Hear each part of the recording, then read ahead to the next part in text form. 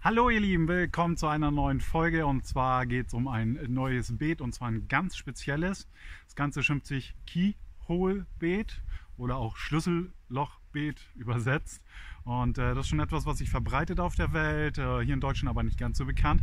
Das ist ein ganz spezielles System zum Anbauen. Mich hat das angesteckt und das möchte ich auch mit euch teilen, damit es euch ansteckt. Das wird auf jeden Fall ein Mehrteiler, also wieder eine Reihe und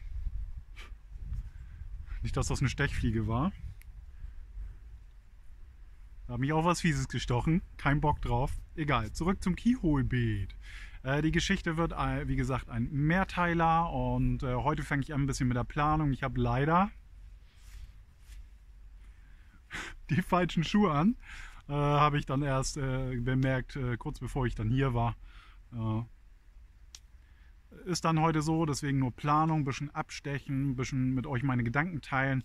Aber ich denke, das ist schon ganz reichhaltig äh, für diese erste Folge dazu. Bleibt gespannt, bleibt interessiert. Ich zeige euch jetzt erstmal, wo das Ganze hin soll. Und zwar, erinnert ihr euch, Tortenstücke, für alle, die das noch nicht kennen, sollten ein bisschen in mein Video stöbern.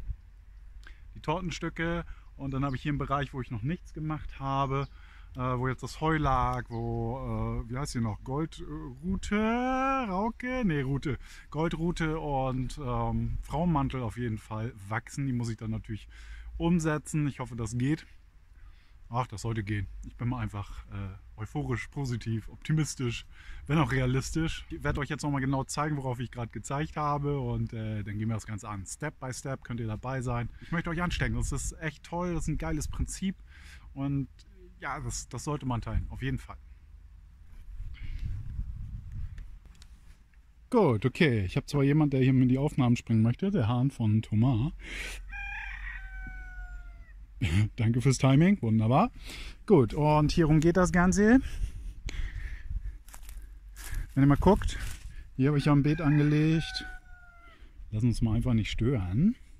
Die Sonnenblumenbeete, Bohnen, Erbsen, hier hatte ich Salat, hier hatte ich Spinat und so weiter und so fort.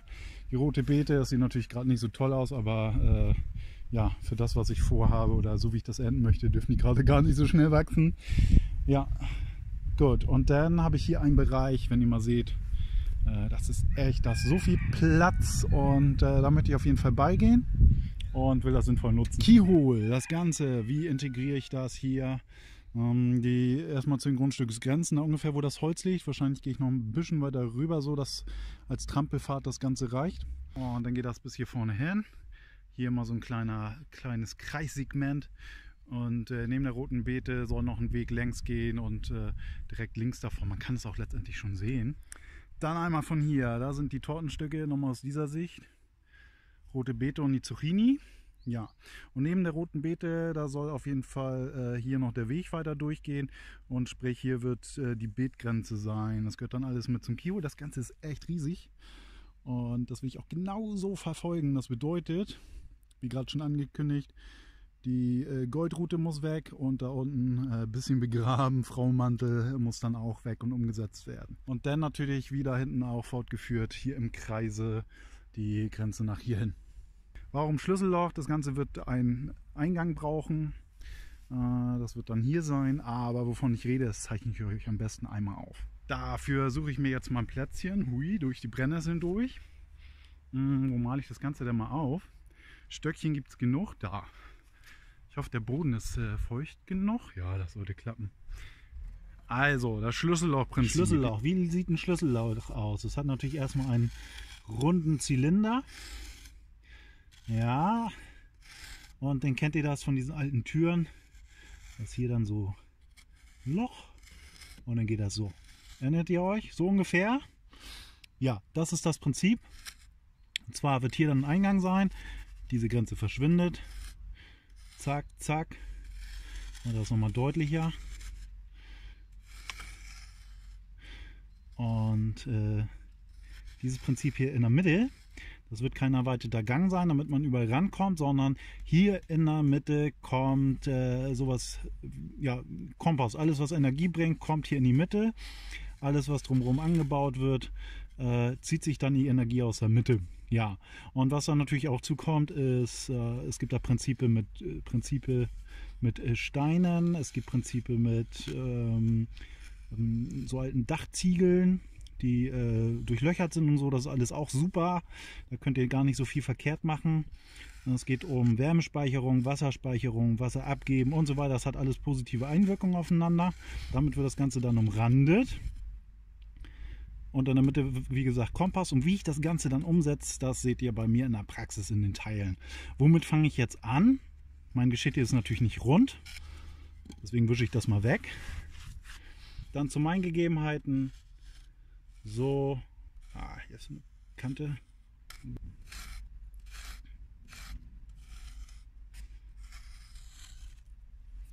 So sieht ungefähr mein Teil aus, also sprich ein riesengroßes Tortenstück. Und bei mir wird das dann hier einen Eingang geben und hier in der Mitte den Kompost. Also es ist nicht viel anders. Es ist nun keine optimale Form. Rund ist schon, denke ich, eine ganz optimale Form, aber ich denke, äh, es muss nicht immer perfekt sein. Das haut schon hin. Passt es an eure Gegebenheiten an, das werde ich auch tun. Da arbeite ich mich jetzt Step by Step vor wie es äh, weitergeht und wie der Kompost selber aussieht, wie ich die Steine anordne und so weiter. Das seht ihr dann auf jeden Fall in meiner Videoreihe. Was kann ich heute noch tun? Die weitere Planung. Ich werde mal die Ecken und den Eingang so ein bisschen abstecken mit Steinen.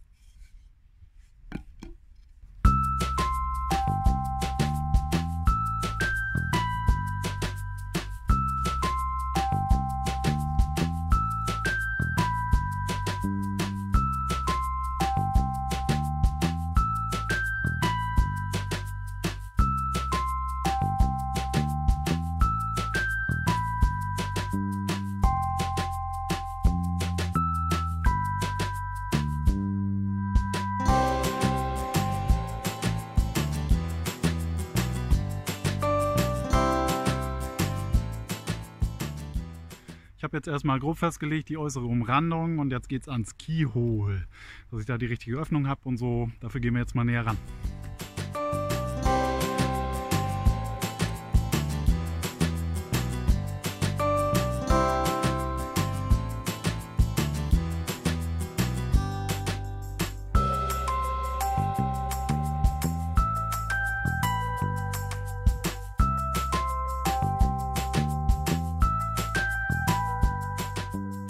Gut, nochmal klarer zu erkennen. Also von die Ecken, die brauche ich jetzt nicht unbedingt äh, abstechen. Das wird ähnlich wie bei den anderen Beeten sein. Aber äh, dann hier der äußere Rand, gekennzeichnet mit den Steinen, geht bis da. Über den anderen Stein bis zu dem da hinten an der Kiste. Okay, und hier ist dann der Eingang zum Schlüsselloch, das Schlüsselloch selber. Und äh, wo der Stein letztendlich liegt, bei der Goldrute, das ist ungefähr die Mitte des Kompostes. Ich nenne es jetzt einfach Kompost. Also in der Mitte kommt alles rein, was irgendwie Leben bringt. Und rundherum, hier die Geschichte, das wird dann nachher alles bebaut und äh, auf jeden Fall mit Nahrung versorgt. Das ist das Prinzip.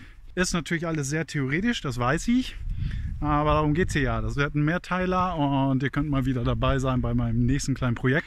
Das Prinzip habe ich mir natürlich nicht ausgedacht. Äh, ich habe ein Video der Waldgeister gesehen und die hatten da einen tollen Beitrag, ein Gartenrundgang mit vielen, vielen Ideen, äh, einer gewissen Gartenstrategie. Das Keyhole-Beet war auch ein Teil des Ganzen. Da gab es auch noch andere Mandala-Beet und Steinpyramiden und so weiter. Da gibt es einige Sachen, die ich richtig geil fand und die ich auf jeden Fall hiermit integrieren möchte. Da steckt auch was hinter. Es macht Sinn und, äh, aber was er alles noch auf sich hat, das kommt dann mit der Zeit, ja. Eins nach dem anderen. Für heute soll es reichen. Planung, ein bisschen Beetumrandung festlegen und äh, eine Richtung einschlagen, die das Ganze dann nehmen soll.